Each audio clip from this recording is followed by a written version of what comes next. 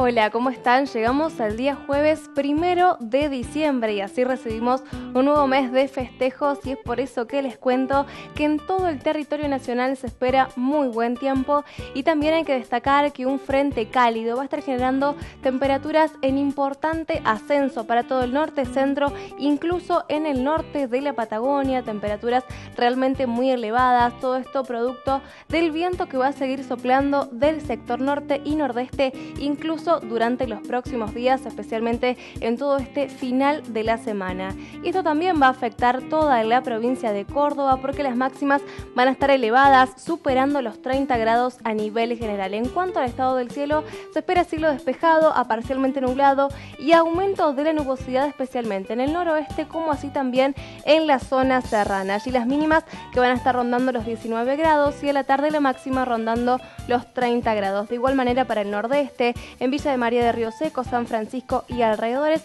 máximas de 33 a 34 grados, el ambiente muy caluroso en horas de la tarde. Hacia el centro de la ciudad de Córdoba, como así también en todo el sur de la provincia, mínimas 17 a 18 y máximas de 32 y hasta 33 grados. Ahora sí les recuerdo que para obtener más información pueden ingresar a infoclima.com. Hasta la próxima, muchas gracias.